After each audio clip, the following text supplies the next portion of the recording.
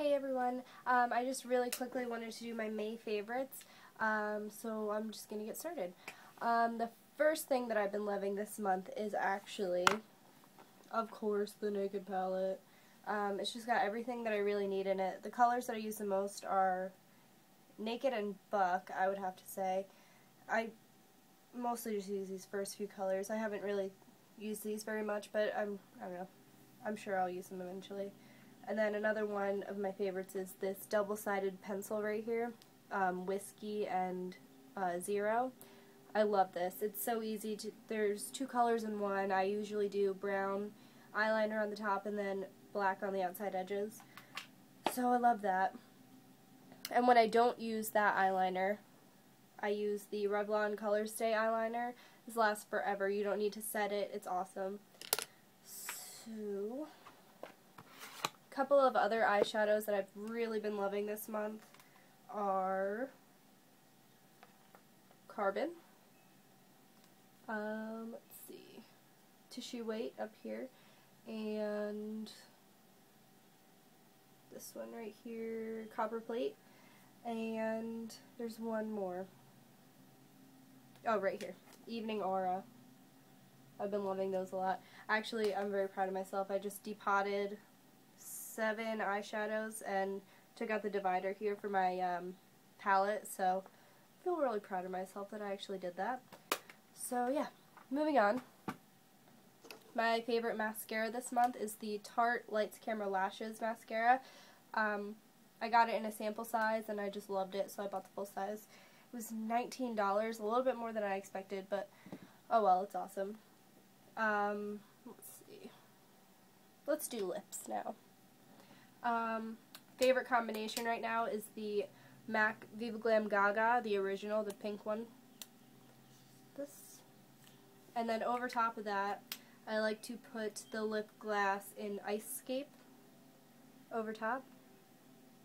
I believe this came, I bought, I got it in a,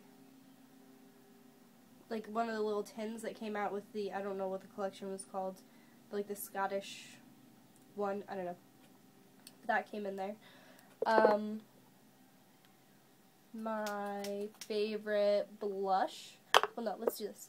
Favorite foundation is Revlon Color Stay. Favorite.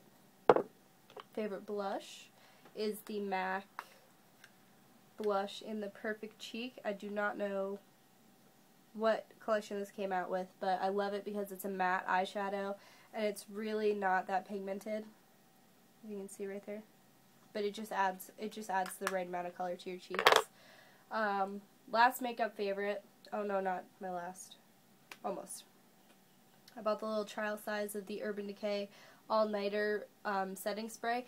I love this. When this runs out, I'm going to buy the full size because this is awesome. I spray it over my face when I'm done completely with my makeup. It just sets everything and makes your skin look flawless and dewy. It's just great. Um, the finishing powder that I've been using is the Clinique Transparent. I don't know. I don't know. This is what it looks like. Like that. So I've been using that. And then one thing that I really want to rave about really, really quickly, this brush right here. It's dirty beyond belief, but I use this brush every single day. Like, I used it today. It's awesome. It is from Coastal Scents. It's the C433 Pro, Pro Blending Fluff Brush. It's supposed to be like the MAC 217. But it's, oh, it's awesome. I use this brush and this brush alone to do all my eyes. It's, it's just awesome. So if you are in the market for a, a brush like the 217. I think that's what it's called.